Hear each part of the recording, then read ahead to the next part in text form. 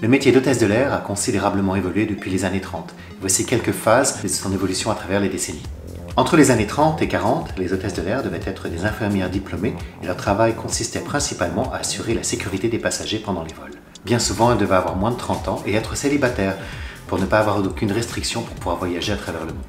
Entre les années 50 et 60, les hôtesses de l'air étaient considérées comme glamour, étaient commercialisées de même par les compagnies aériennes. Elles devaient être jeunes, célibataires et attirantes.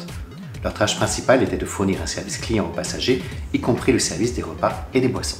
Entre les années 70 et 80, on a de plus en plus d'hommes qui commencent à exercer ce métier. Le rôle des équipages se professionnalise et les compagnies aériennes commencent à exiger une formation plus approfondie. Cela comprenait bien sûr le service à la clientèle, mais également les premiers soins et la gestion des situations d'urgence.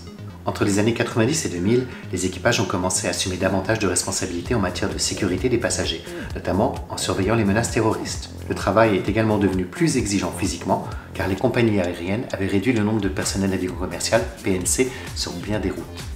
Entre les années 2010 et 2020, avec l'essor des compagnies aériennes à bas prix, les équipages ont dû s'adapter aux nouvelles conditions de travail et aux attentes des clients.